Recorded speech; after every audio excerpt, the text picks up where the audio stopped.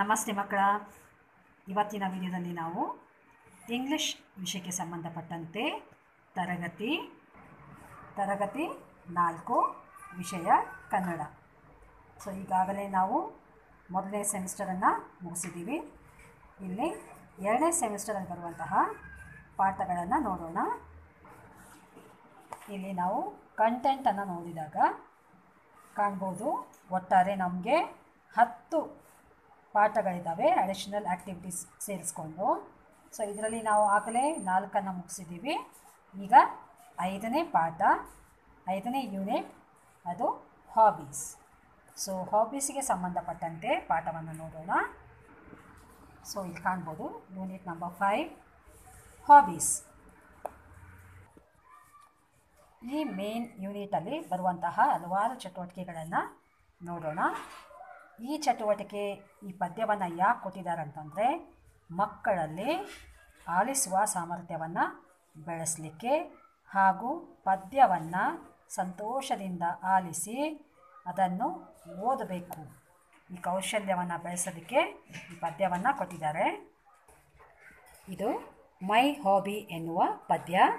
ಇದನ್ನು ಬರೆದವರು ಅನಾಮಿಕ, ಅಂದರೆ ಹೆಸರಿಲ್ಲ ನಿಮ್ಮ ಪಠ್ಯಪುಸ್ತಕವನ್ನು ತೆರೆದಿಡಿ. ಪೇಜ್ ಸಂಖ್ಯೆ ಅರವತ್ತೆಂಟು. ಸೊ ಪೇಜ್ ನಂಬರ್ ಓಪನ್ ಮಾಡಿದ್ದೀರಲ್ಲ? ಫಸ್ಟ್ ಪದ್ಯ ಓದೋ ಮುಂಚೆ ನಾವು ಪದಗಳ ಅರ್ಥವನ್ನು ತಿಳಿಯೋಣ. ಕನ್ನಡದಲ್ಲಿ. ಸೊ ಇಲ್ಲಿ ಕಾಣ್ಬೋದು ಪದಗಳ ಅರ್ಥ. ಮೊದಲನೇದು ಸ್ಕೈ ಸ್ಕೈ ಅಂದರೆ ಆಕಾಶ. ಬ್ಲೂ ನೀಲಿ. ಹೆವೆನ್ಸ್, ಸ್ವರ್ಗ. ಕ್ರೌಡ್, ಜನರ ಗುಂಪು.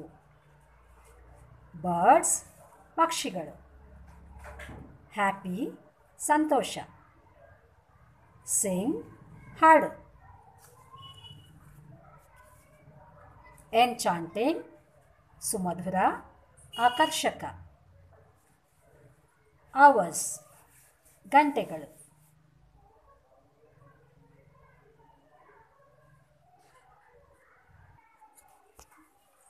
ಕೇರ್ಲೆಸ್ ನಿರ್ಲಕ್ಷ್ಯ ಸ್ಕೆಚಿಂಗ್ ಚಿತ್ರ ಬಿಡಿಸುವುದು.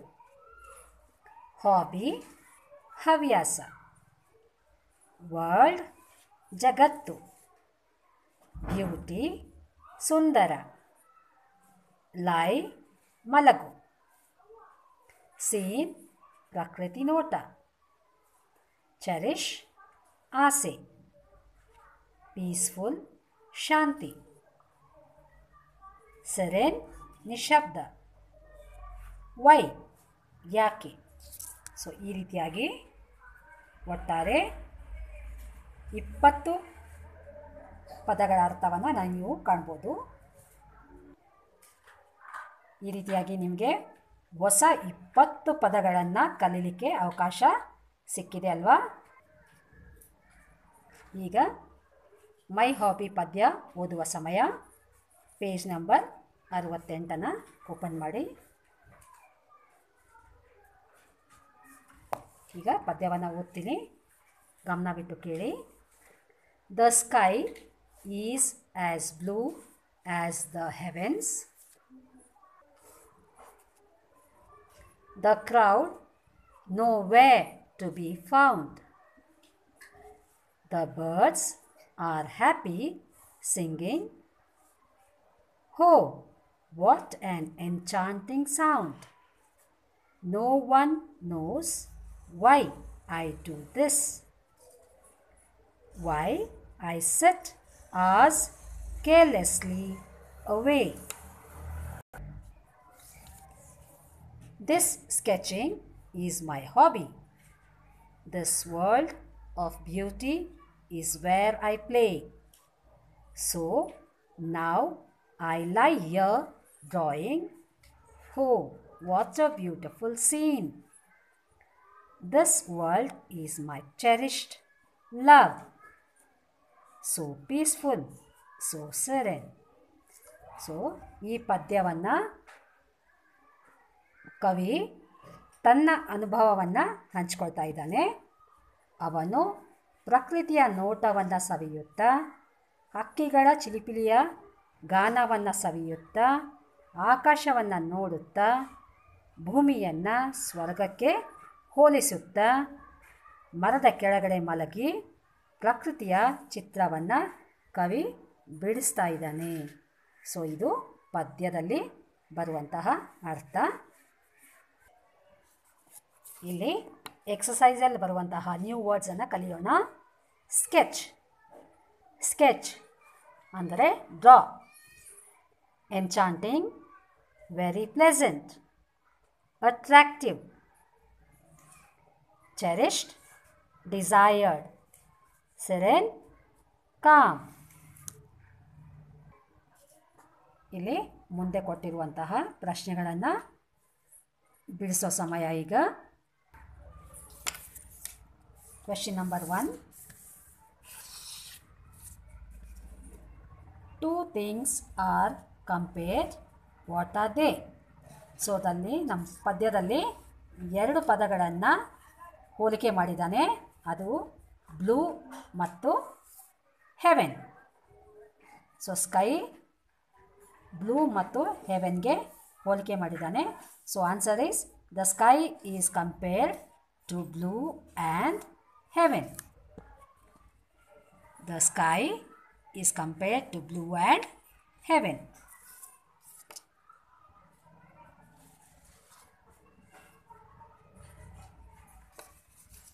What is the enchanting sound? The birds singing is the enchanting sound. ಮೂರನೇ ಪ್ರಶ್ನೆ what is the hobby of the speaker Drawing is the hobby of the speaker. The speaker says he set carelessly away because answer he loves nature. Next one the speaker says the word is. The speaker says the world is dash, peaceful, and dash, calm. So ಇವೆಲ್ಲ ಪ್ರಶ್ನೆಗಳಿಗೆ ಉತ್ತರ ಸಿಕ್ತಲ್ವಾ? So ಮುಂದಿನ ಎಕ್ಸಸೈಸನ್ನು ನೋಡೋಣ ನಾವು. ಇಲ್ಲಿ ಬಾಕ್ಸಲ್ಲಿ ಹಲವಾರು ಪದಗಳನ್ನು ಕೊಟ್ಟಿದ್ದಾರೆ. ಸೊ ಇದರಲ್ಲಿ ನಾವು ಎರಡು ಗುಂಪಾಗಿ ಮಾಡಬೇಕು. ಎಸ್ ಎಚ್ ಶ್ ಈ ಶಬ್ದದಿಂದ ಪ್ರಾರಂಭ ಮತ್ತು ಕೊನೆಗೊಳ್ಳುವಂತಹ ಪದಗಳನ್ನು ಆರಿಸಬೇಕು. ಛ ಸಿ ಹೆಚ್ ಛ. ಈ ಸೌಂಡಲ್ಲಿ ಪ್ರಾರಂಭ ಮತ್ತು ಅಂತ್ಯಗೊಳ್ಳುವ ಪದವನ್ನು ಆರಿಸಿ ನಾವಿಲ್ಲಿ ಬಾಕ್ಸಲ್ಲಿ ತುಂಬಬೇಕಾಗುತ್ತೆ. ಸೊ ಇಲ್ಲಿ ಕಾಣ್ಬೋದು. ನಾನು ಆಗಲೇ ಬರೆದಿದ್ದೀನಿ. Short shell fish shoe flush rush ship mesh shine so ಇವೆಲ್ಲ ಶ ಸೌಂಡಿಗೆ ಸೇರುವಂಥ ಪದಗಳು. ನೆಕ್ಸ್ಟು ಛ. ಸ್ಟಾರ್ಟಿಂಗ್ ಮತ್ತು ಎಂಡಿಂಗ್ ಇರುವಂತಹ ಸೌಂಡ್ ಛ stitch catch match, cherry rich chair so ಈ ರೀತಿಯಾಗಿ ಇಷ್ಟು ಎಕ್ಸಸೈಸ್ ಮೈ ಹಾಬಿಗೆ ಸಂಬಂಧಪಟ್ಟಂತಹ ಎಕ್ಸಸೈಸು ಮುಂದಿನ ಎಕ್ಸಸೈಸ್ ಮುಂದಿನ ವಿಡಿಯೋದಲ್ಲಿ ನೋಡೋಣ. ಧನ್ಯವಾದ. ಇಲ್ಲಿ ಮಕ್ಕಳ ಆಲಿಸುವಿಕೆ ಮತ್ತು ಓದುವ ಸಾಮರ್ಥ್ಯವನ್ನು ಬೆಳೆಸಲು ಇನ್ನೊಂದು ಪದ್ಯವನ್ನು ಕೊಟ್ಟಿದ್ದಾನೆ. ಬನ್ನಿ ನೋಡೋಣ. There is a lovely nest a lovely lovely nest the nest is in the tree the tree is in the park so ಇದು ಪದ್ಯ. ಇಲ್ಲಿ ಕೆಳಗಡೆ ಇನ್ನೊಂದು ಪದ್ಯ ಕೊಟ್ಟಿದ್ದಾನೆ. Once I saw a little bird come hop hop hop I cried little bird will you stop stop stop I was going to the tree to say how do you do but he shook his little tail and away he flew. So ಇದು ಪಠ್ಯ ನೋಡಿದ್ರಲ್ಲ? ನಿಮ್ಮ ಪಠ್ಯದಲ್ಲಿದೆ.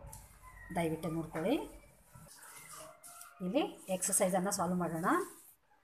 Sketch so ಇದಕ್ಕೆ ಸಮಾನಾರ್ಥ ಪದವನ್ನು ಗುರುತಿಸಿ ನಾವು ರೌಂಡನ್ನು ಹಾಕಬೇಕಾಗುತ್ತೆ. ಸ್ಕೆಚ್ ಅಂದರೆ ಡ್ರಾ ಸೊ ಇಲ್ಲಿ ಡ್ರಾಗೆ ನಾವು ರೌಂಡ್ ಹಾಕಬೇಕು. ಎನ್ಚಾಂಟಿಂಗ್ ಅಂದಾಗ ಸಿಂಗಿಂಗ್ ಸೊ ಇದಕ್ಕೆ ರೌಂಡ್ ಹಾಕಬೇಕು. ಚರಿಷ್ಡ್ ಅಂದಾಗ ಡಿಸೈರ್ಡ್ ಇದಕ್ಕೆ ರೌಂಡ್ ಹಾಕಿ. ಸೆರೇನ್ ಅಂದರೆ ಕಾಮ್ ಸೊ ಇಲ್ಲಿ ಈ ಪದಗಳಿಗೆ ಸಮಾನಾರ್ಥಕ ಪದವನ್ನು ನಾವು ಆರಿಸಿ ಇಲ್ಲಿ ರೌಂಡ್ ಹಾಕಿದ್ದೀವಿ. ಸೊ ಮುಂದಿನ ಚಟುವಟಿಕೆ ಇಲ್ಲಿ ಕಾಣ್ಬೋದು. So the ink is as red as so, ಇಲ್ಲಿ ಅಕ್ಷರಗಳನ್ನು ಹಿಂದೆ ಮುಂದೆ ಕೊಟ್ಟಿದ್ದಾನೆ. ಇದನ್ನು ನಾವು ಸರಿಪಡಿಸಿ ತುಂಬಬೇಕಾಗುತ್ತೆ. So, the ink is as red as blood. First one blood. The birds are C, happy singing. ಇಲ್ಲಿ ಇದನ್ನು ಸರಿಪಡಿಸಿ ಸಿಂಗಿಂಗ್ ಅಂತ ತುಂಬಬೇಕು. Sketching is my hobby. ಈ ಅಕ್ಷರಗಳನ್ನು ಜೋಡಿಸಿ ಹಾಬಿ ಆಗುತ್ತೆ. So now I lie here drawing this world is my cherished love so ಈ ರೀತಿಯಾಗಿ ಪದಗಳನ್ನು ಇಲ್ಲಿ ಸರಿಪಡಿಸಿ ತುಂಬಬೇಕಾಗುತ್ತೆ. ಮುಂದೆ ಇಲ್ಲಿ ರೈಮಿಂಗ್ ವರ್ಡ್ಸನ್ನು ಬರೀಬೇಕಾಗುತ್ತೆ. ಒಂದು ಎಕ್ಸಾಂಪಲ್ ಕೊಟ್ಟಿದ್ದಾರೆ. ಸೌಂಡ್ ಫೌಂಡ್ ರೌಂಡ್ ಬೌಂಡ್ ಅದೇ ರೀತಿಯಾಗಿ ಪಾರ್ಕಿಗೆ ರೈಮಿಂಗ್ ವರ್ಡ್ಸ್ ಪ್ರಾಸ ಪದ ನೋಡೋಣ. Park bark dark mark nest best fest pest rest test west so ಇವೆಲ್ಲ ರಾಸಪದಗಳು ಅಥವಾ ರೈಮಿಂಗ್ ವರ್ಡ್ಸ್ ಮುಂದೆ ನಿಮ್ಮ ಪಠ್ಯಪುಸ್ತಕದಲ್ಲಿ ಚಿತ್ರವಿದೆ. ಅದಕ್ಕೆ ನೀವು ಸುಂದರವಾದಂತಹ ಬಣ್ಣವನ್ನು ಬಳಸ್ಕೊಂಡು ಅದನ್ನು ತುಂಬಬೇಕಾಗುತ್ತೆ. ಇದು ಚಟುವಟಿಕೆ. ಗುಡ್ ಹಾಬೀಸ್ ಈ ಪಾಠವನ್ನು ಮುಂದಿನ ವಿಡಿಯೋದಲ್ಲಿ ನೋಡೋಣ. ಧನ್ಯವಾದ.